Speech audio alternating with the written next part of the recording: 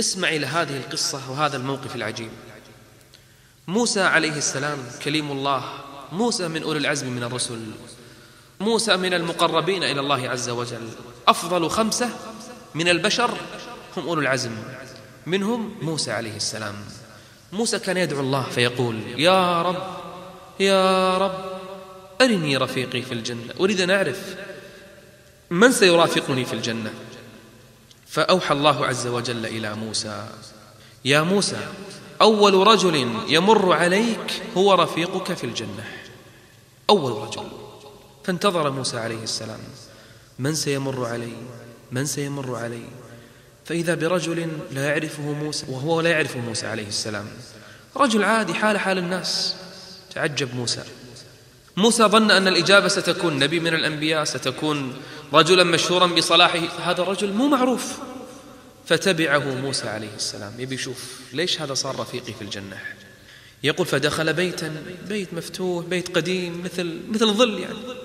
فدخل الرجل وجلس أمام امرأة عجوز وموسى عليه السلام يرقبه من بعيد. امرأة عجوز على الأرض جالسة.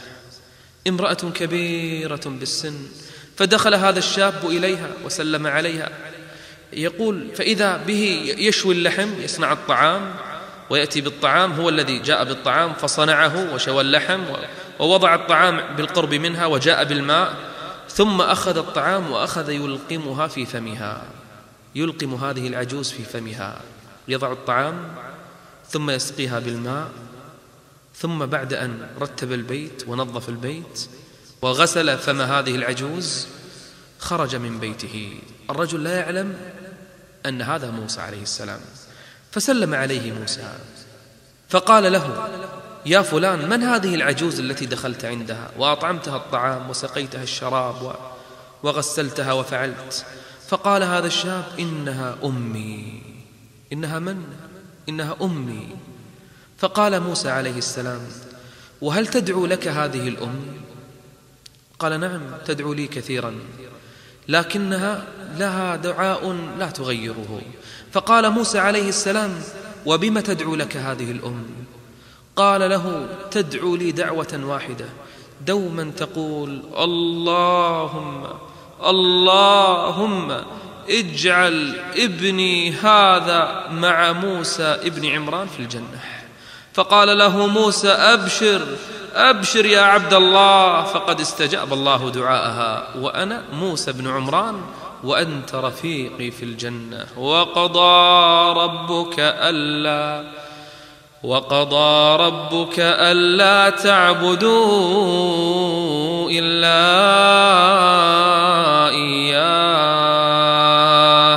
وبالوالدين إحسانا إما يبلغن عندك الكبر أحدهما أو كلاهما فلا تقل لهما أف ولا تنهرهما وقل لهما قولا كريما واخفض لهما جناح الذل من الرحمة وقل رب ارحمهما وقل رب ارحمهما كما ربياني صغيرا. نعم. نعم إنه دعاء الأم. أين نحن من أمهاتنا؟ ماذا فعلنا؟ ماذا صنعنا معهن؟ إن دعوة أم استجاب الله عز وجل لها فجعل هذا الرجل المسكين المتواضع المغمور بين الناس جعله رفيق موسى في الجنة يعيش مع موسى في الجنة. بدعوة من؟ بدعوة أمه. ربما الإنسان يصلي طوال عمره ويفعل من الصالحات ما يفعل ولكن لا يصل إلى هذه الدرجة. لكن بدعوة صادقة من أمه إلزم رجلها إلزم رجلها فثم الجنة.